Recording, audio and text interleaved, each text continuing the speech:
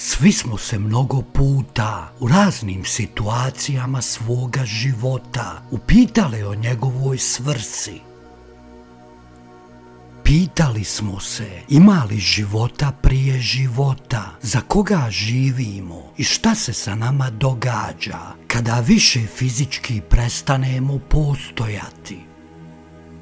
Mnoga pitanja nude mnoge odgovore, kako one znanstvene, tako i one teološke, ali i filozofske.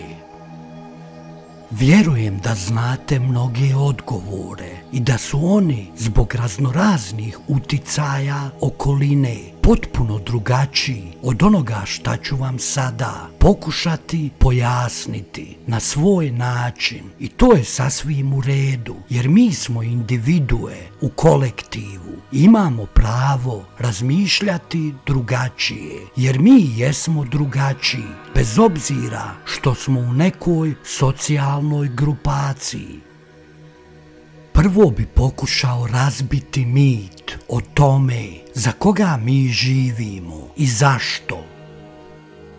Dakle, da pojasnim osnovna načela našeg bivstvovanja u ovoj egzistencionalnoj ravni.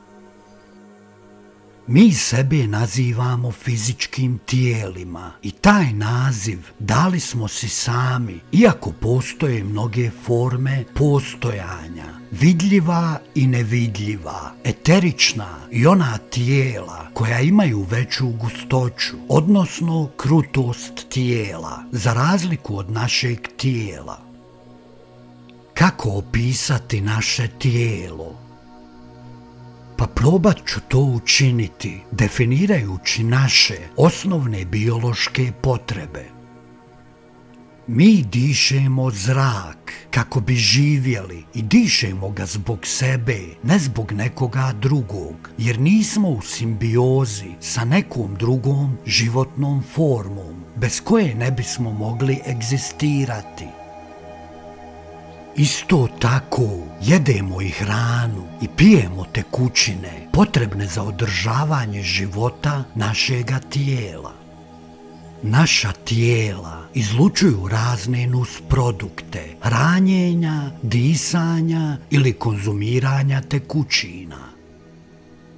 Te radnje obavljamo zato da naše tijelo održavamo na životu, a ne zato da bi neposredno od nas netko živio. Živimo tako što većim dijelom života sami sebe održavamo na životu.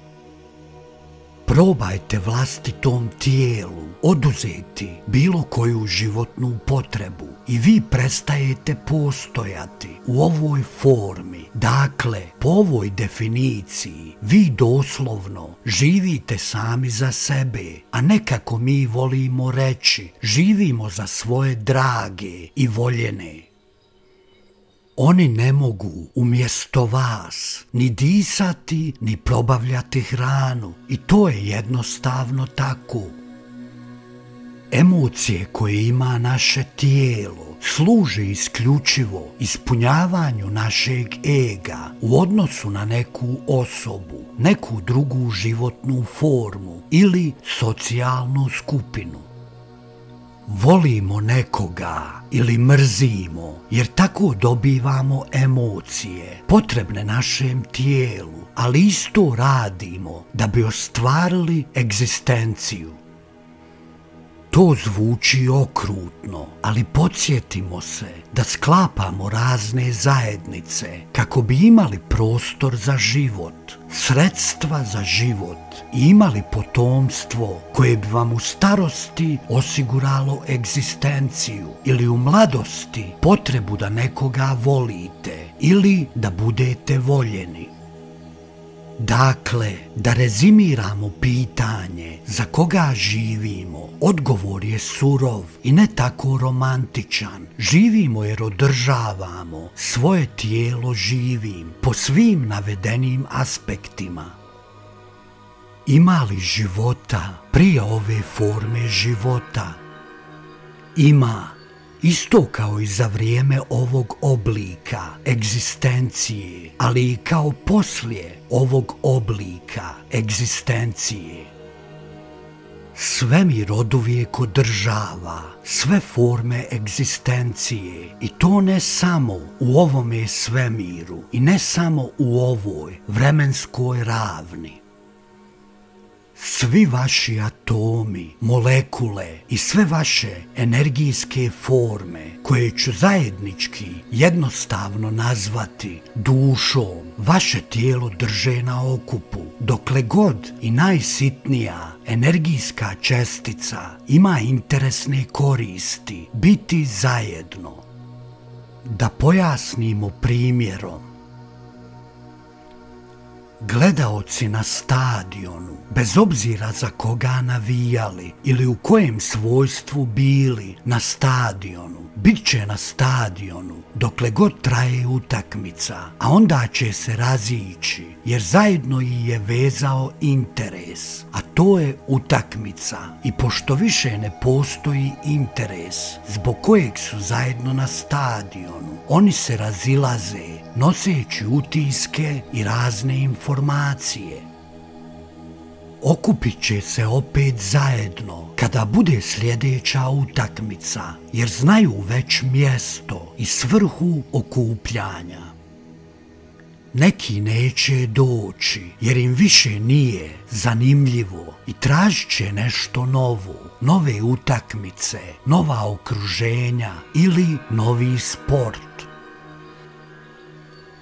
Tako i sa našim najsitnijim česticama energije, pa do onih najsloženijih, odnosno duša našega tijela. Dakle, sve misaone forme ne nestaju, jer takva je forma opstojnosti, odnosno ukratko, ništa je nešto i nešto je ništa sve uvijek postoji i sve je uvijek zabilježeno u raznim prostornim i vremenskim ravnima. Konkretnije, vi ne nestajete niti u ovom fizičkom tijelu, jer opstajete u prošlosti, ali i u inverznom svemiru. Postojite i u alternativnim svemirima, jer informacija se širi u pramateriji i primarnoj misaonoj formi koja je prva poželjela postojati. Mi tu formu volimo zvati Bogom, a to ona u neku ruku je, jer ona je originalna i primarna tvorevina. Kako je moguće postojati u paralelnim ili alternativnim svemirima? Vrlo jednostavno ću to pojasniti. Vi ste memorijski zapis, poput memorijskog stika i možete se priključiti na bilo koje računalno sučelje koje podržava vaš program. Recimo, ako ste kompatibilni sa programom Windows, vi ćete se moći priključiti sa svojim memorijskim zapisom i biti unutar tog programa aktivni sudionik sa svom vašom memorijom koju ste sa sobom ponijeli. Tako reagira i pramaterija kada vaš memorijski zapis uđe u njenu stvarnost, jer ona dozvoljava vaše djelovanje.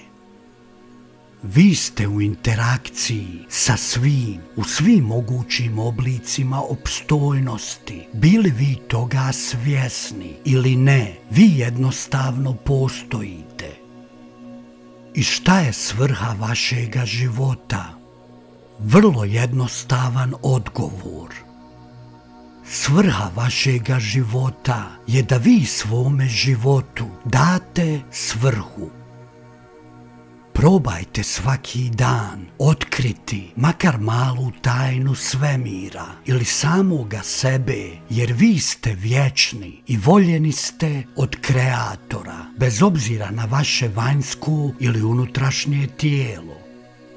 Učinite si život svrsishodnim, jer vi ste svrha. Hvala na pažnji do idućeg videa, veliki pozdrav!